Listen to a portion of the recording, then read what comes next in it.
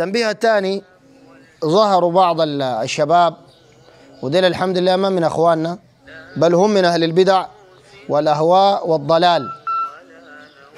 يكفر حكومة السودان الجديدة جملة وتفصيلا وهي مجموعة أبي عمران ومن معه من السفهاء والسفلة.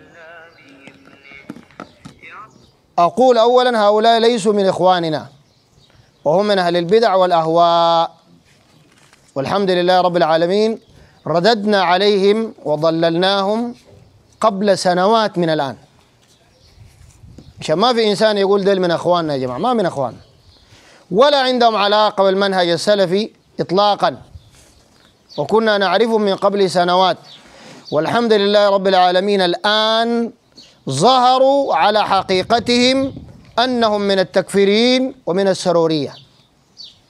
لأن منهج التكفير الغير منضبط بالشرع لا بالكتاب ولا منضبط بالسنة ليس هو من منهج أهل السنة والجماعة بل هو منهج جماعة الأخوان المسلمين منهج الخوارج منهج السرورية. والآن ظهروا على حقيقتهم. أما منهجنا الذي هو منهج أهل السنة والجماعة فإننا لا نكفر أحدا من أهل القبلة إلا من كفره الله ورسوله صلى الله عليه وسلم. وأيضا نعتقد أنه ليس كل من قال كفرا قال كفرا فإنه يكفر حتى تقام عليه الحجة الرسالية وهي التحقق من توفر الشروط وانتفاء الموانع. وهذا ما أجمع عليه جميع علماء الأمة منذ أولها إلى آخرها. وهذا نص كلام أو ملخص كلام شيخ الإسلام ابن تيمية في المجلد الثالث من مجموع الفتاوى. وكذلك المجلد السابع من مجموع الفتاوى. وهو كلام جميع علماء الإسلام. من أولهم إلى آخرهم. أنه ليس كل من قال كفرا يكفر حتى تتحقق الشروط وتنتفي الموانع. وده بإجماع العلماء وده منهجنا نحن. كان حاكم ولا محكوم؟ قال كفر عديل لا يكفر إلا بعد توفر الشروط وانتفاء الموانع. والأدلة كثيرة. الرجل الذي قال اللهم أنت عبدي وأنا ربك. القول ده كفر ولا ما كفر؟ كفر لا يشك فيه عاقل فضلا عن عالم. القول كفر لكنه لم يكفر. بل جعل النبي عليه الصلاة والسلام له العذر فقال أخطأ من شدة الفرح. لوجود مانع وهو الخطأ. وعدم توفر شرط وهو القصد الذي هو ضد الخطأ. فلا يكفر الإنسان إلا بعد توفر الشروط. وانتفاء الموانع والشروط هي الجهل والقصد والاختيار وعدم الإكراه. والموانع هي الجهل والجهل وعدم وجود التأويل والخطأ والإكراه. دي الشروط ودي الموانع التي يجب أن تتوفر في من قال كفرا. يعني بعد ما يقول كفر عديل بعد ذاك تتحقق الشروط وتنتفي الموانع حتى يكفر. وأيضا نعتقد أن من يكفر هم من؟ العلماء وليس السفهاء. من هؤلاء الشباب السفهاء. كفروا ساكت ويجيبوا كفوة للدعوة السلفية. وهم إذا كانوا قد تكلموا بغير اسم الدعوة السلفية ما كان يشتغلنا بهم كثير. لكن يقول لك أبو عمران السلفي الأسري النجدي. كذاب ساكت. كذاب لا سلفي لا أسري لا غيره. كذاب. منهجهم ده منهج التكفيرين. أخذوه من شيخهم ذاك المجدوع في المناقل ده.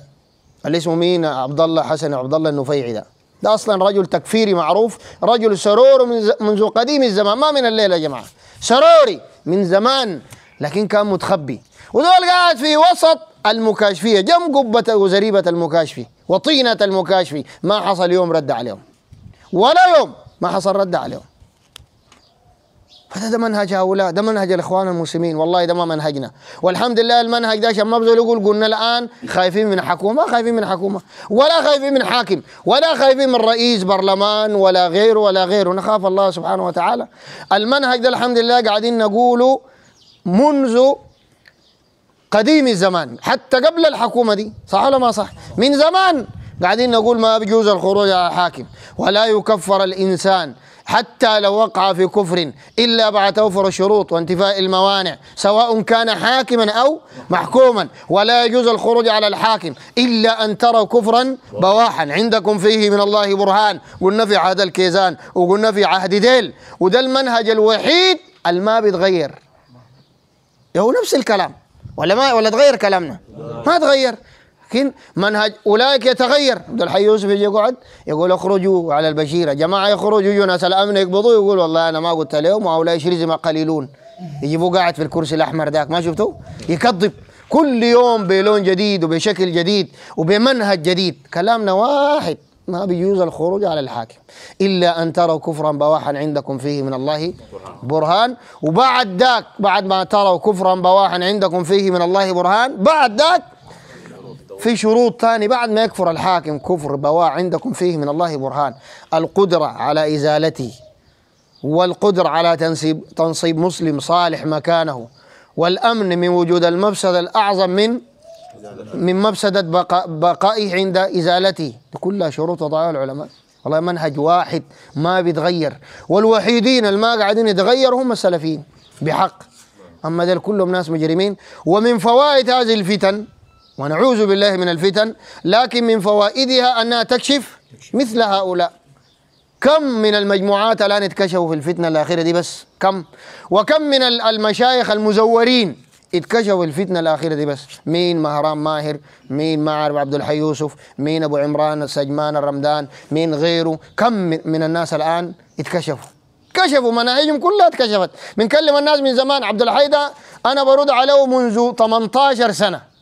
وألفت فيه كتاب وعملنا فيه خطب ومحاضرات بالمئات.